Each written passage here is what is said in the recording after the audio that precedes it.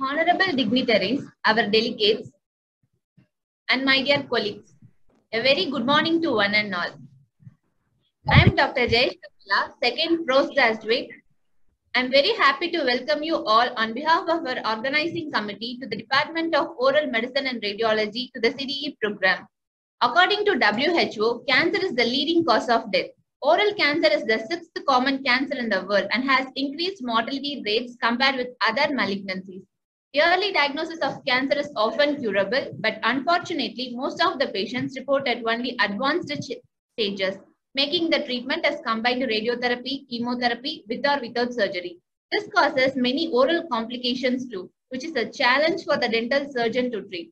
Our topic of the day will cover the, these aspects. So we look forward to get an exposure to the oral care for patients with chemotherapy. I now request Dr. Sudhamani Ma'am, Professor, Department of Oral Medicine and Radiology, to introduce the guest speaker.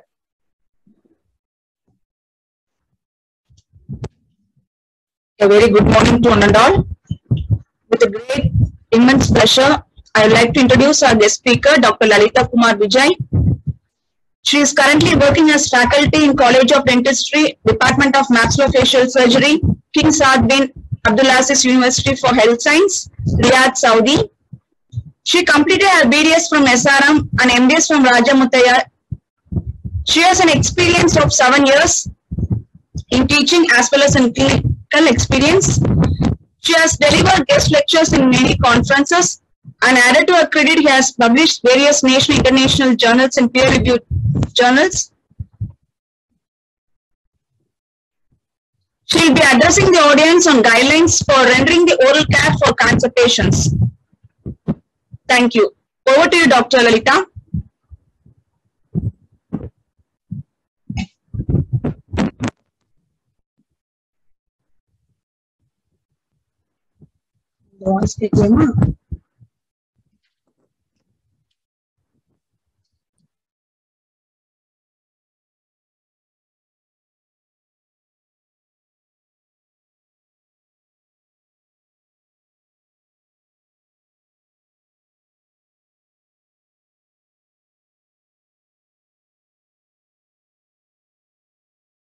So I would just uh, start diving right into the topic, which is uh, a, a, a, an easy or a quick guideline for oral care uh, for patients on cancer therapy.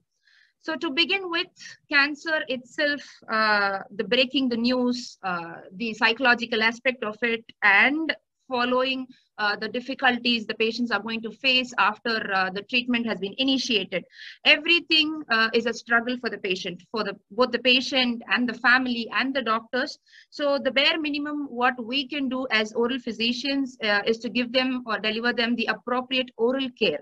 Why is oral care important? Because uh, oral care begins with uh, taking care of your nutrition, taking care of your diet, like say that is the basic uh, uh, reason why a human is living for eating say and uh, give them good nutrition. And a good nutrition itself is going to help them a lot when it comes to curing the disease as such. So um, uh, I'll just quickly go through the global scenario, which is there uh, currently in the world. As you all know, it is the sixth most common type of cancer, with India contributing to almost uh, one third of the burden in the world. And it's said to be the second country to have the highest number of oral cancer cases.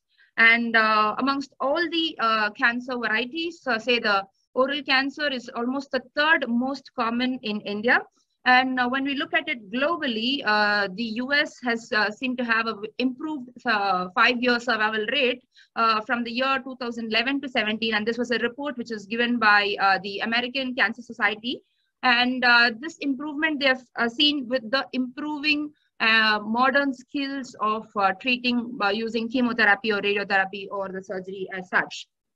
So uh, when you look at the other parts of the world, say Europe is the second most common uh, uh, uh area where they have oral cancer, followed by uh, Asia. And then they have uh, the other parts of the world like Latin America and Africa.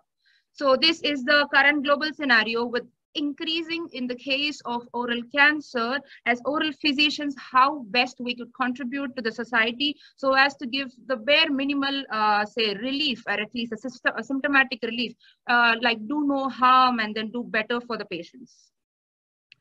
So when we are trying to treat a cancer patient, it is not a one man's army. It's not any heroism that we see here.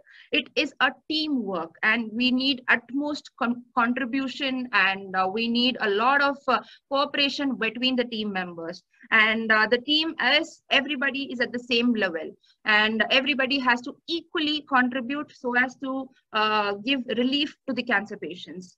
So the team members could be uh, your oral oncologist and the oral physician, maxillofacial radiologist, a restorative dentist and a dietitian, speech and language therapist, uh, plastic surgeon, and last but not the least, the most important person is nursing care because these uh, uh the nursing care is required before, during, and post cancer therapy. And they are also required to coordinate between all the specialists. And amongst all of these, none of them can perform any sort of a care to the patient without consultant to the oncologist. So this is how the team works and this is a team effort so as to improve the quality of life for the patients.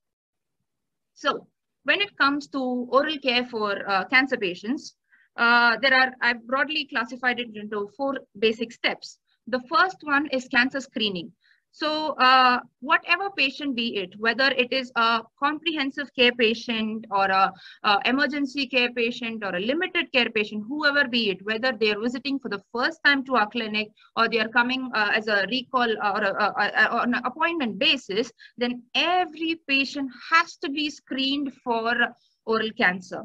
The, uh, the biggest advantage I could say in uh, oral cavity is that we always have a preceding potentially malignant disorder, which means we can catch it before the malignant transformation, or at least we can delay the uh, process of transformation.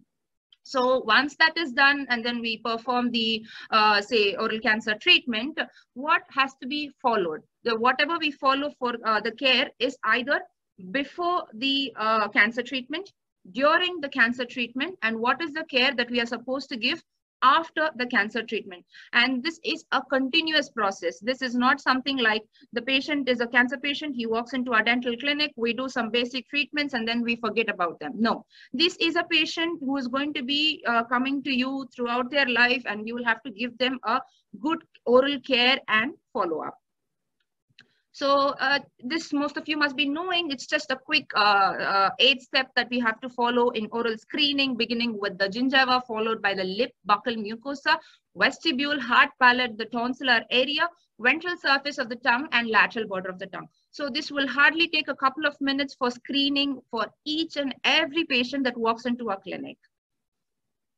And uh, just a quick uh, review about the treatment for oral cancer. Uh, this treatment uh, flowchart is not a hard and fast rule.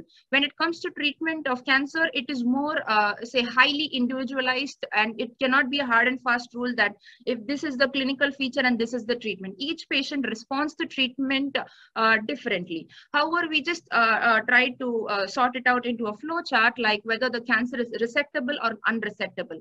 Meaning, if I am able to remove the bulk of the tumor and the remaining can be uh, removed with, uh, say, uh, chemotherapy or a radiotherapy or a combination therapy. In case the tumor is more widespread, I would like to reduce the bulk using chemoradio. And then once the bulk, bulk is reduced, I would like to do a surgical uh, intervention. So this is in, uh, in concise about the treatment for oral cancer. So I would like to tell where all uh, uh, uh, the uh, treatment can have an implication or a complication and how we can intervene as a oral physician so as to uh, improve the quality of life for these patients.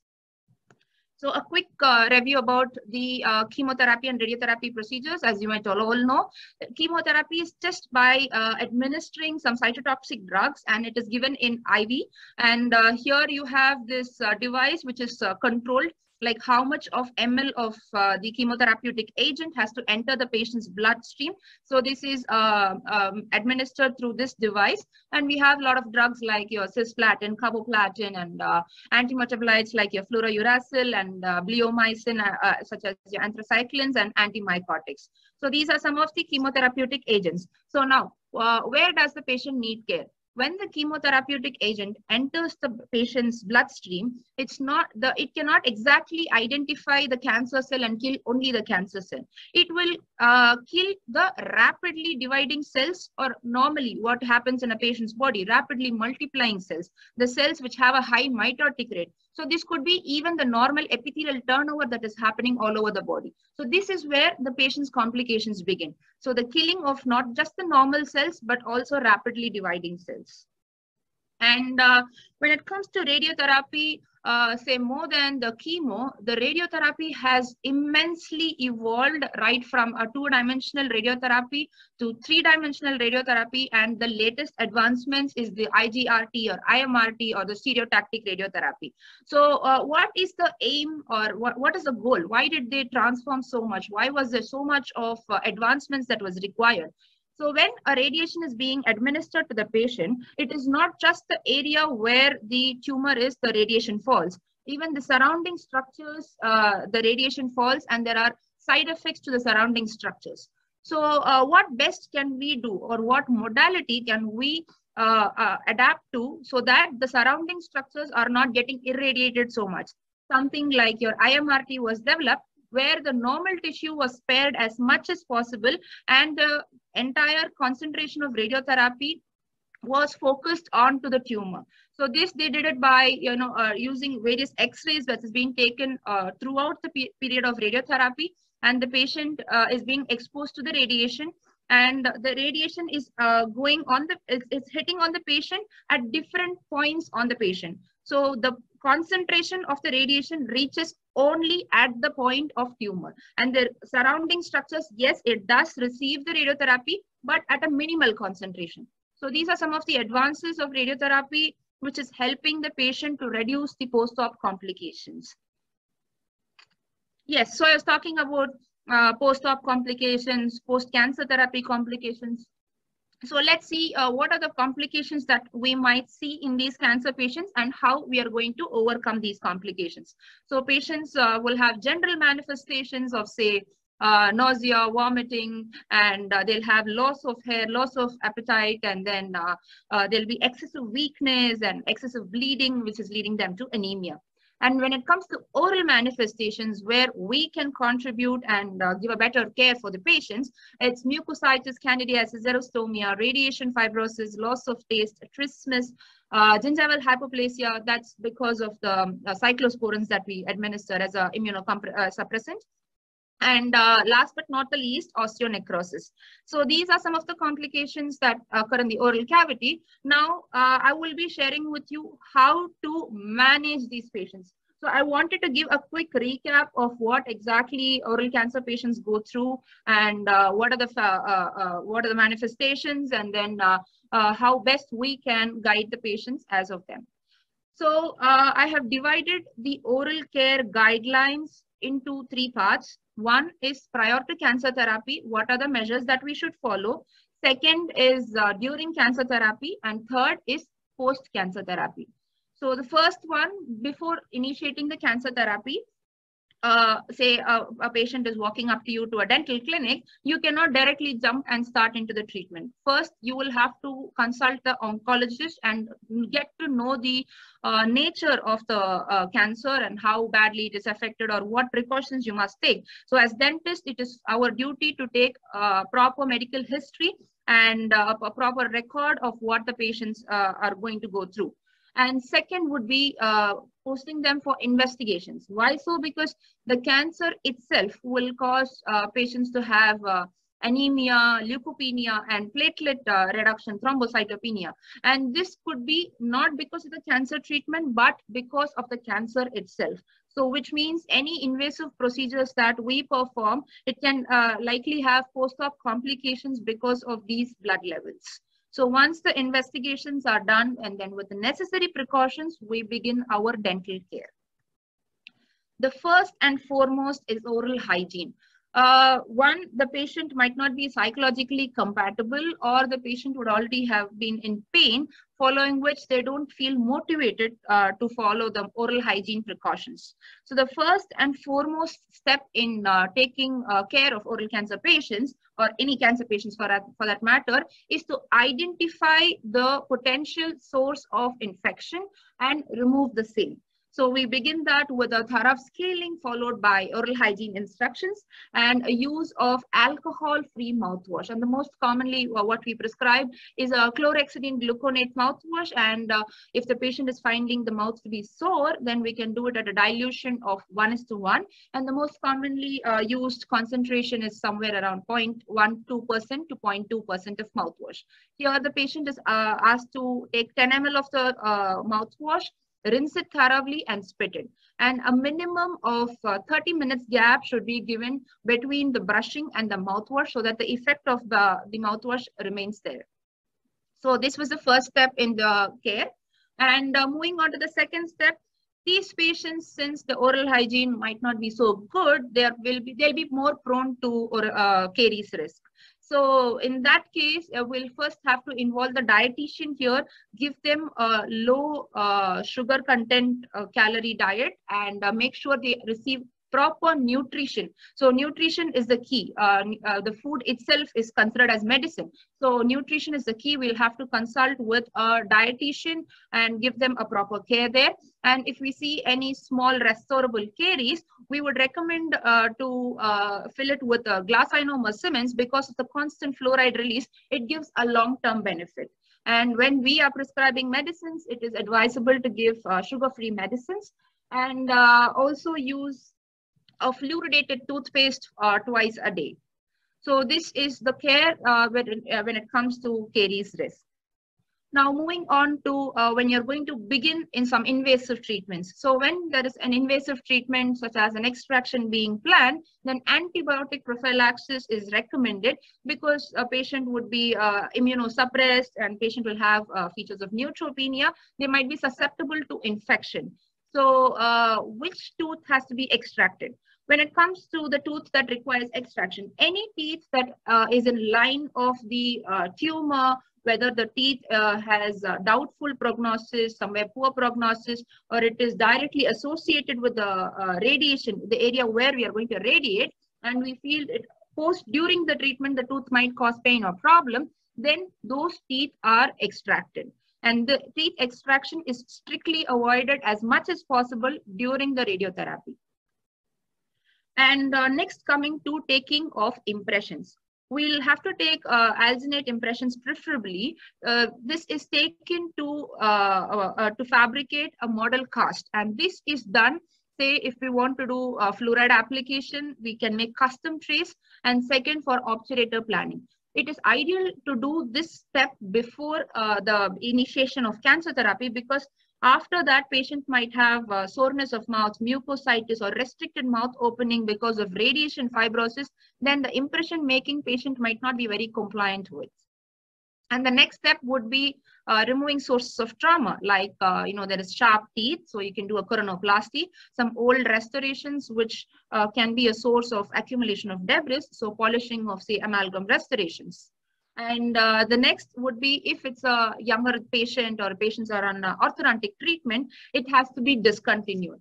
Uh, so why is orthodontic treatment recommended to be discontinued is uh, it has an increased susceptibility for uh, dental caries and also there is a risk of uh, root stunting because, due to the tooth movement and uh, the drugs which we give such as the bisphosphonates or anti-resorptive drugs uh, that is the chemotherapeutic drugs can inhibit the tooth movement so the purpose of uh, going through the orthodontic treatment is not solved uh, moreover the uh, the brackets or the wires, the uh, NiTi wires, stainless steel wires, any of it, if it is sharp at any point of time, it could prick and traumatize the patient and cause more uh, discomfort to the patient. So ideally, orthodontic treatment has to be discontinued before initiation of cancer treatment.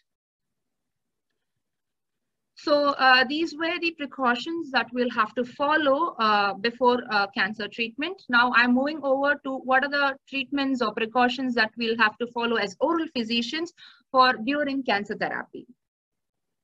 So uh, to begin with, uh, we'll have to maintain the oral hygiene. So I will be repeating this point of oral hygiene uh, almost before, during, and after. Why? Because that is the prime uh, source or uh, the prime activity that as uh, a dentist we are supposed to deliver to the patient. Oral hygiene maintenance. So that has to be happening throughout the period of cancer therapy. the next would be patients in cancer therapy will be susceptible to infections because of immune suppressions, especially if they are patients who are undergoing uh, bone marrow transplants. In those cases, uh, they are likely to develop some viral infections such as herpes, for which we prescribe uh, acyclovir. And uh, the salivary flow starts uh, getting altered, for which we prescribe antifungal medicines to, for managing of candidiasis. So the recommendation uh, for uh, antifungals is a nystatin oral suspension of about 1 lakh units four times per day. And if it's a case of a severe candidiasis, then we go in for tablets version of it, that is the fluconazole, 50 milligrams per day, and it is given for up to 14 days or at least maximum until it resolves. So uh, now moving over to the uh, foodstuffs that has to be avoided. Yes.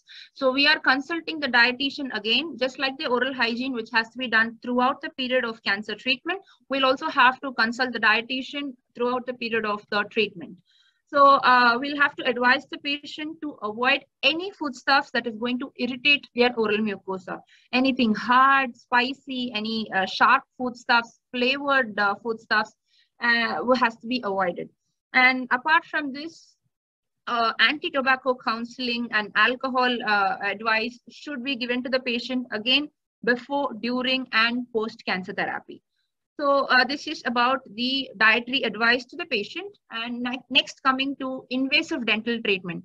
So we will have to uh, complete all invasive dental treatment before uh, the uh, initiation of cancer therapy. So now there is a, a evidence-based or say debatable concept of when to uh, do the invasive dental treatments. So ideally they say 30 days before the cancer therapy, it is best to do invasive treatment.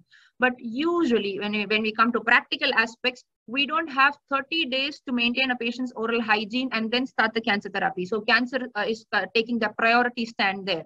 So then uh, there are varying, uh, say, uh, varying reports and uh, varying author uh, uh, feelings that publications which says that Uh, somewhere at least 14 days or minimum, minimum 10 days it has to be done, the, the dental treatment has to be done before initiating the cancer therapy. So why are they avoiding it during the cancer therapy is that patient's mouth will be sore and patient will be susceptible to infection and there is risk of something called as osteonecrosis of the jaw which I will be telling you subsequently. So ideally during dental treatment you will have to avoid all sorts of invasive dental treatments. Now coming to uh, the next problem that is the hyposalivation. So once a cancer treatment is being initiated, say there is a chemo or a radiotherapy of the head and neck more specifically, the salivary glands get atrophied and the uh, amount of salivary flow starts reducing. So uh, by definition, hyposalivation is a reduced uh, resting salivary flow rate below 0.2 ml per minute or a, a stimulated salivary flow rate which is less than 0.7 ml per minute. So this is the uh, definition of hyposalivation. Uh, perhaps uh, a, quick note for the postgraduate students here. What is the difference between hyposalivation and xerostomia? And why we have, we'll have to know about it. What is the significance of it? So hyposalivation is something, uh, it's basically a objective sign. So uh, look at the words, it's an objective sign, which means we do a, a, test or an investigation where we ask the patient to spit into a cup and then we measure the saliva at the end of one minute. So this is hyposalivation, what the physician is eliciting from the patient. And xerostomia is an objective symptom. So, uh, uh, so I mean, it's a subjective symptom. So it's something like the patient says, I have a feeling of dry mouth. So xerostomia is a completely subjective symptom where I cannot see it, but the patient is giving me a history of dry mouth. So that's the difference between the two. And once uh, the cancer therapy is initiated, the salivary glands get affected, the acinar cells get atrophied, and the saliva begins to become more thick and stringy. So the major functions of saliva is getting affected, such as the buffering capacity, the clearance of the debris from the oral cavity, the pH becomes more acidic. So once the, all these happens, it is favoring the growth of microorganisms and more specifically cariogenic microorganisms. And this is what is making the patient very susceptible to dental caries. So um, when saliva is getting reduced, like in hyposalivation, uh, the patient also has problems with speech, mastication, swallowing, and there is increased risk of uh, other gingival periodontal problems. So when we have a patient with uh, hyposalivation, the uh, treatment modality begins from, say, in mild cases, we can advise them to take frequent sips of water, definitely a regular water, not the sparkled one, and chewing of sugarless chewing gum, xylitol. But there are some side effects of uh, xylitol as well, uh, such as uh, ca causing bloating and flatulence. Uh, when it comes to medication, the first one uh, recommended was amifostine. Uh, amifostine was given as a radioprotective agent to the salivary glands. But currently, it's a topic of debate. Uh, there are some authors who suggest that it doesn't make a difference. Whether we prescribe amifostine or not, the outcome is still the same. However, we have good randomized control trials, uh, which has proven the efficacy of uh, pilocarpine uh, and uh, cevimeline. So pilocarpine is basically a cholinergic parasympatho uh, parasympathomimetic uh, agent, which is given at the rate of 5 to 10 milligrams three times a day. And uh, when it comes to cevimeline, it is a muscarinic, muscarinic agonist, which is an M M1, acts on M1 and M3 receptors, and they are given at the rate of 30 milligrams. Both of these have uh, a common side effect, say, like excessive sweating and uh, frequent urination. Otherwise, these med uh, medications have proven to be useful for patients having uh, hyposalivation. So apart from the medications, uh, there are some commercially available uh, salivary substitutes. I believe in India, we have these commercial products like wet mouth, we have oral lube, Salivar, and Aquacid. So uh, when it comes to these uh, salivary substitutes, uh, it is uh, there are some evidence which states that the gel form which comes in the Aquacid has it has a longer duration of benefit than the liquid form. And uh, a, a, point that has to be noted here: some of these products has animal combinations. Uh, animal based ingredients which can be culturally not acceptable in some conditions and we should also focus on um, the salivary substitute products if it is available with fluoride. So whenever we're prescribing a salivary substitute, it is uh, mandatory to go through the ingredients of it. And uh, uh, there is evidence which also states that mucin-based salivary substitutes have a higher clinical acceptance than uh, carboxy methylcellulose-based substitutes. So that was about uh, the hyposalivation and xerostomia. Now moving over to mucositis inflammation and ulceration of oral mucosal lining. And this is a the perhaps the first complication that occurs in uh, almost two weeks following radiotherapy there is mucositis. And WHO has graded and this is almost the universally accepted grading as grade one as um, soreness and grade two as erythema. And grade three where the patient is not able to swallow food. And grade four is where the patient cannot uh, the ailment is not possible at all so based on this uh, inflammation, where the food, the diet is being a big problem for the patient, uh, there are several uh, randomized control trials. There are several uh, systematic reviews that they have uh, proposed, and uh, to come to a con common consensus for treating this painful condition. So if you have, if you can find some time to go through the supportive care in oral cancer journal, and there are some clinical practical guidelines also available. So in short, what they're trying to say is uh, you can try oral cooling for 30 minutes before the chemotherapy and use of benzydamine hydrochloride mouthwash uh, 0.15%, 15 ml, 4 to 8 times per day, and some palliative managements just to reduce the pain, say 2% lignocaine mouthwash, fentanyl dermal patches, 2% of morphine mouth rinse, and uh, finally, if it's very severe cases, then systemic pain relief with morphine. Now coming to um, maintenance of oral hygiene using foam swabs. Why is foam swab important? Say during cancer therapy, where the patient's mouth is extremely sore, they're not able to brush. Say there is radiation fibrosis, uh, the brush is not reaching the uh, you know the far end of the mouth.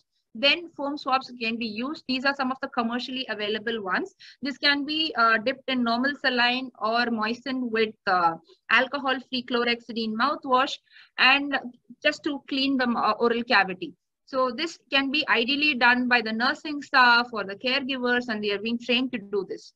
However, uh, this does not uh, provide adequate uh, oral hygiene and cleaning. So for this, uh, normal toothbrushing has to be resumed as early as possible.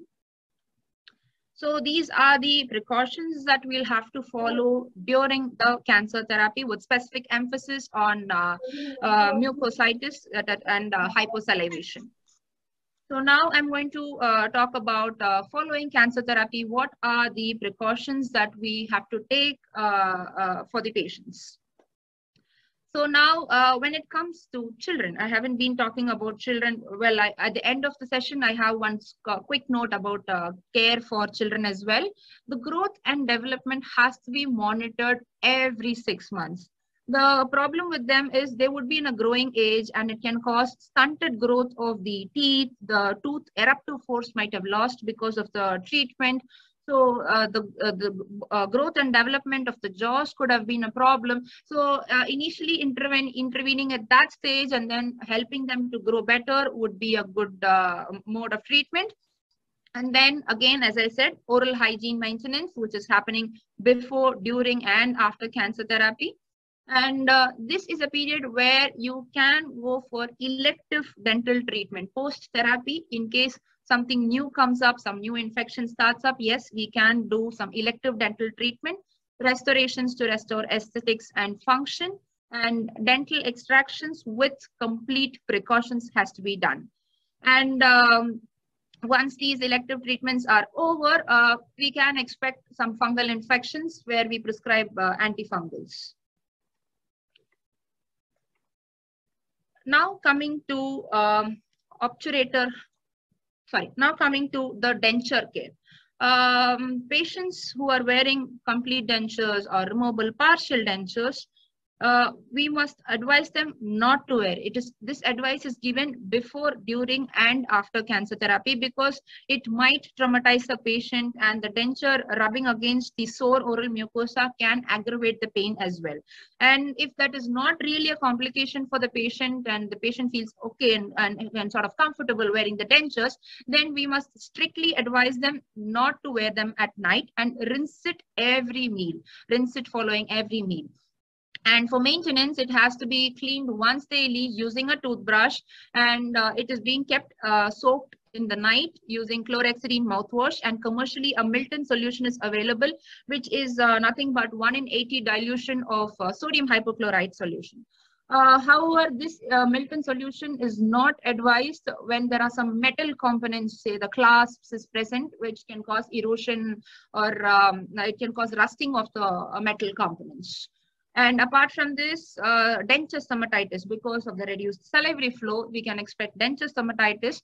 So uh, gel is applied onto the fitting surface or the denture surface of the denture, and then it is uh, reinserted into the patient's mouth. So as a bottom line, ideally the denture wear has to be discontinued until the patient is completely uh, uh, disease-free in the oral cavity. If the patient still wants to wear it, yes, they have to follow these precautions. Now coming to obturator care. Uh, so we had taken uh, regular impressions and made study model and cast models uh, before the initiation of cancer therapy. So based on those casts, we can fabricate uh, uh, obturators. Obturators are similar to uh, removable partial dentures, but they are placed to close the surgical defect following the treatment. Say they have done a partial maxillectomy. So there is a, a defect which is there in the maxilla and that is closed in uh, with the obturator. And there are a lot of, uh, say, models of obturators. This is a simple one uh, which has an obturator and the set of teeth, so which is going to dually help the patient. And this is a one where there is more portion of maxilla lost. So there is a metal, uh, metal mesh reinforcement in the obturator. And here the entire maxilla is missing. So uh, patient has been having a implant supported obturator in place and then the occlusion is being restored. So uh, when it comes to obturation, uh, obturator care, uh, we'll have to instruct the patient to keep the obturator clean. The patient should not remove the obturator at all for six months. So if they leave it outside for a couple of days, then we can expect wound contracture, which can be a major complication while healing.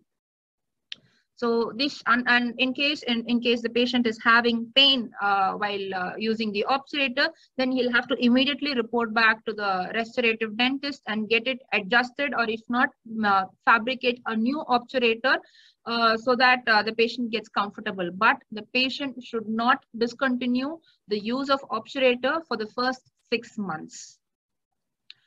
Uh, now moving over to trismus, which is a uh, re restricted mouth opening or limited mouth opening. And the cause for this could be an active spasm or restriction of the muscles of mastication. It could also be because of uh, the tumor itself or maybe a local recurrence or metastatic lesions.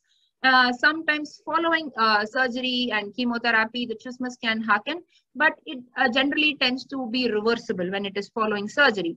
And uh, when there is fibrosis of tissues as a result of chemotherapy and radiotherapy, especially radiotherapy, it is called as radiation uh, fibrosis. Then it tends to be more progressive and uh, the damage that is caused because of radiation is pretty much irreversible. So when uh, we have a patient of trismus, we can begin with physical therapy that is the jaw exercises. The, there are some devices which are available for stretching the muscles of mastication. Uh, the most simple one is just stacking a lot of tongue depressor or your ice cream sticks, tie them up together and ask the patient to keep it in the incisal edge and uh, keep, uh, keep it in the oral cavity, say for a period of five minutes, 10 minutes, and then gradually increase it. So this is one method of uh, physical exercise. The second one, there are some commercially available devices. The first one is uh, TheraBite jaw motion rehabilitation, where the uh, the slots that you see here, it is uh, more is the slot, more is the mouth opening. And here you have a U-shaped arch, one for the maxilla and one for the mandible. The patient has to hold the device inside his mouth and try to increase the mouth opening as much as possible. And then the other system is the DynaSplint system. Here, uh, the difference between the two systems, if I can say, is this is a hands-free system. In TheraBite jaw system, uh, the patient has to hold the device. In the DynaSplint uh, Trismus system, the patient has to fit the device in the mouth and it's hands-free. So that's about the physical therapy for trismus. Coming to the drug therapy, uh, the first prescribed is pentoxifylline, which is given around at the rate of 800 milligrams. And pentoxifylline is basically an antioxidant and it increases the microcirculation and tissue oxygenation. Thereby, it starts relieving the uh, fibrosis in the muscles of mastication. And the second drug of choice is botulinum toxin. This injection is not given to improve the mouth opening. However, there will be some pain associated with trismus. So for which botulinum toxin uh, injection is prescribed. The third modality, if say nothing of the none of the uh, treatment above works for the patient, uh, then uh, there is a study which states that coronoidectomy uh, can be done. That is uh, the surgical removal of coronoids, which can increase the range of motion and help the patient to eat and uh, do oral hygiene practices better. So that was about the trismus. Now coming to osteoradionecrosis. So this is nothing but, um, as a, it's, it's a type of osteomyelitis following radiotherapy. And the risk factors for this could be uh, uh, a heavy dose of radiation and the fractions are very close together. The doses are high and the patient is not maintaining good oral hygiene and uh, aggravating factors like uh, tobacco and alcohol uh, doing invasive treatments during uh, during the radiotherapy can all predispose the condition to osteoradionecrosis. So patient will have some deep-seated pain. There can be pus discharge and there will be sequestration of bone with significant bone loss that you can uh, appreciate on radiographs. And uh, there is a, a, a, universally accepted staging where stage zero is mucosal defects, stage two is uh, necrotic bone in the dentoalveolar region, and stage two, there is involvement of uh, denuded bone, and uh, stage four is uh, full-fledged uh, necrotic bone, and there can be even pathological fracture. So to avoid severe complications, an immediate intervention is mandated for this case. And for this, uh, the prescribed treatment is a high dose of systemic antibiotics, say amoxicillin with clavulanic acid, and pentoxifylline again here uh, it's prescribed because it inhibits the inflammatory mechanism. It promotes the uh, fibroblast proliferation and also the formation of extracellular matrix. So it improves the condition basically. And uh, vitamin e tocopherol of 1000 international units per day has been uh, prescribed which protects the cell membrane uh, when uh, the uh, when it's more of the later stages, stage two or stage three, then we'll have to uh, remove the necrotic bone. So a local surgical excision with a primary mucosal uh, closure has been recommended. And in case of severe ORN, hyperbaric oxygen therapy has been suggested. However, um, uh, evidence does not strongly suggest this treatment, but still this has been in practice. And for advanced cases, uh, ablative surgery and soft tissue reconstruction has been uh, proposed. Uh, moving over to uh, MRONJ or medication-related osteonecrosis of the jaw. So osteoradionecrosis is uh, say necrosis of the jaw following radiation. And uh, MRONJ is necrosis of the bone following medications of chemotherapy that they prescribe. Say the anti-resorptive drugs such as bisphosphonates, monoclonal antibodies, denosumab. So all these prescriptions which are ideally prescribed for uh, bone uh, to prevent bone resorption. So these medicines can cause um, uh, say uh, a necrotic bone when some invasive treatments or some uh, residual dental infection is present in the patient. So uh, if there, there are some interesting systematic review uh, reads and there is a uh, in, in interesting position paper by the American Association of Maxillofacial Surgeons.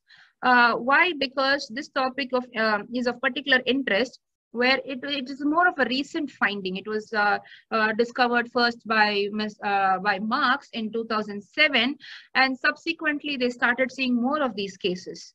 Uh, in 2014, the American Association of Oral and Maxillofacial Surgeons had updated the term from bisphosphonates related to osteonecrosis of the jaw to medication related osteonecrosis of the jaw. The name change itself was uh, was the recent update there. So this is more of a uh, recent pathology that has been come into study. And by 2021, we've already started having systematic reviews on how to manage the condition, how to identify the condition, how to differentiate this condition from perhaps a second uh, uh, primary tumor or a second carcinoma or a metastatic carcinoma. There are a lot of interesting uh, systematic reviews on it. So the same uh, article which I had shown you before, the position paper, had proposed uh, guidelines for treating such cases. So um, based on the stages. So if it is an MRON stage zero, then there is just tooth pain or joint uh, or the jaw pain for which they prescribe antibiotics and then uh, analgesia for the pain. And if it's stage one, there is asymptomatic focal bone necrosis without signs of inflammation, then uh, they add antibacterial mouthwash to it. When it comes to stage two, where there is significant pain along with the other features, then um, uh, bone debridement is added to along the other treatments. When it comes to stage three, where there is necrosis, extensive bone loss, and then uh, symptoms of inflammation and significant pain, then we do all the above treatments combined together and give a comprehensive treatment to the patient. I just want to uh, show you a quick, uh, quick uh, case scenario uh, this is a case which we saw a couple of uh, uh years ago in our clinics and uh, in our college. And uh, this patient had reported to us, say, with a swelling in her mandibular anterior. So, how did we treat this patient? we just went through the history of the patient. We found that she was a breast cancer patient and she was under denosumab. And she had severe pain in the lower anteriors. Uh, we just went on to taking uh, an OPG we found some rarefaction in the bones and then we took a uh, CBCT where we found a lingual cortical plate was uh, breached and a bit of the buccal cortical plate as well. And uh, the uh, histopathology also confirmed our diagnosis. There was a lot of areas of necrosis there. So this patient had reported to us with swelling, pain, and pus discharge. So now it uh, uh, our duty as physicians to treat her symptoms uh, we had prescribed uh, clindamycin 300 milligrams and metronidazole uh, 200 milligrams and uh, ibuprofen uh, 200 milligrams. We are doing this course for almost 14 days. we uh, sent her back to her oncologist so as to whether she could be changed to some other medication or whether this drug could be stopped for one month until this heals. And yes, they gave her gave her an alternate prescription. Following that, uh, uh, we uh, we couldn't completely resolve it with just the medication. So since she was a stage three MRONJ, we had done a sequestration of the bone and uh, we tried to preserve her inferior border of the mandible. Uh, and post-op, we followed the same medications as we started the pre-op as well. So this is how we managed this particular patient. I just wanted to share a clinical experience with you. Now coming to the last part of it, when it comes to childcare, uh, one, the child compliance or understanding might not be the same as that of the adult. So uh, when it comes to childcare, it is educating the patient's parents and caregivers is more important than trying to make the child understand. So we can begin with uh, educating them to brush twice a day. And if it's a baby who is less than uh, 10 years, use of 1,500 ppm of fluoridated toothpaste and uh, specifically tell them not to spit after uh, using the paste so that the effect of fluoride remains in the tooth for longer periods. And the toothbrush has to be changed uh, uh, regularly once in three months or when the whistles play, whichever is earlier. When it's uh, a child more than eight years of age, then a fluoridated mouth rinse uh, can be used, commonly the 0.05% of sodium fluoride. Perhaps by this age, um, they'll come to a better understanding of how to use a mouth rinse. And uh, if the patient is feeling the mouth is too sore, they're, uh, you know, they're very resistant to brushing, uh, then the swabs can be used, which I had mentioned previously, or a small size toothbrush can be used. And uh, say if it's a newborn baby or a baby who does not have any teeth, then you'll have to instruct the caregivers as to how to clean with these sponges. If it's a slightly elder patient, somewhere above 10 years, and uh, both the patient and the caregivers are motivated, then flossing is even a better idea for these childcare. Now, when it comes to diet for childcare, what uh, every parent or caregiver will be really concerned is to maintain their weight and give them adequate nutrition. And this has to be given without uh, giving excessive sugary intakes. So they'll have to restrict the sugary intake and uh, to only meal time somewhere three to four times a day. And if still they have, they will have to take it, then you can um, say uh, suggest them to use straws so that the drink directly goes into the uh, throat and not in uh, resting on the teeth. So this is in short about uh, child care in uh, oral cancer therapy. So I with this I conclude my um, my lecture. And in short what we'll have to say is any cancer patient will be in a lot of pain and uh, they require a continuous uh, a continuous uh, care for them before during and post care uh, post cancer treatment as well. And uh, more than giving them a physical care and physical oral care they need a lot of psychological counseling also to beat the cancer. Dental college for giving me this opportunity and i hope uh, the lecture was useful to a few of you. Thank you so much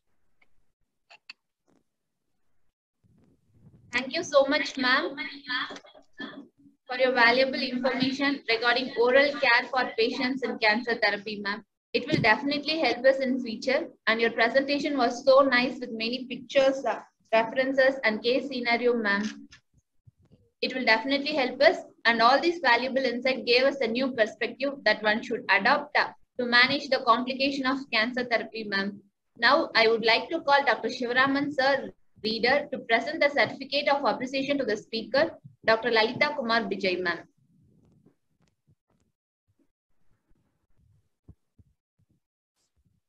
Yeah, thank you, Dr. Lalita. This was undoubtedly a wonderful presentation from you. Okay, and thanks for enlightening us with your vast knowledge and experience through this webinar.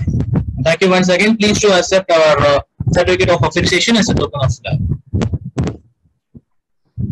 Thank you, sir. I now request Dr. Sri Swarlaya, second year postgraduate, to propose the oath of thanks.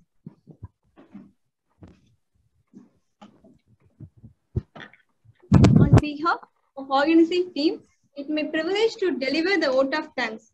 I would like to thank our Dean Sir, Dr. Gokulnathan, Principal and HOD of Department of Oral Medicine and Radiology, Dr. Balan, staff members of Oral Medicine and Radiology, Organizing Committee, and delegates of various colleges and departments for making this CD program a grand success. I would like to thank our guest speaker, Dr. Lalita Kumar Vijay ma'am, for giving us a detailed and informative lecture on oral care for patients in cancer therapy. Once again, I thank one and all present here. Thank you.